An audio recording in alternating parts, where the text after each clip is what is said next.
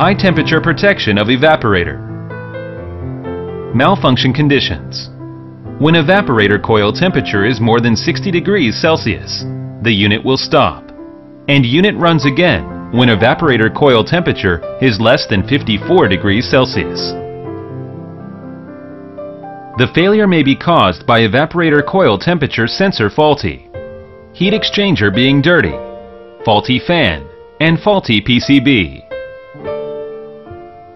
Troubleshooting is shown in figure. Is the compressor running? If compressor does not operate, check whether the connection is correct between evaporator coil temperature sensor and PCB and T2 and T2B is reversed.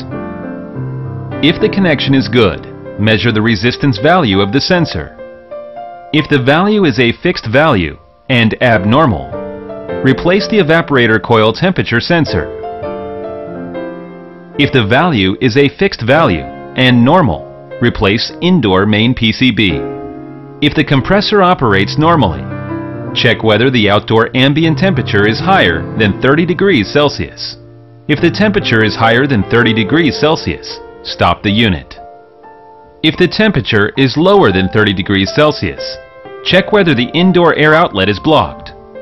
If the air outlet is blocked, clean the air outlet.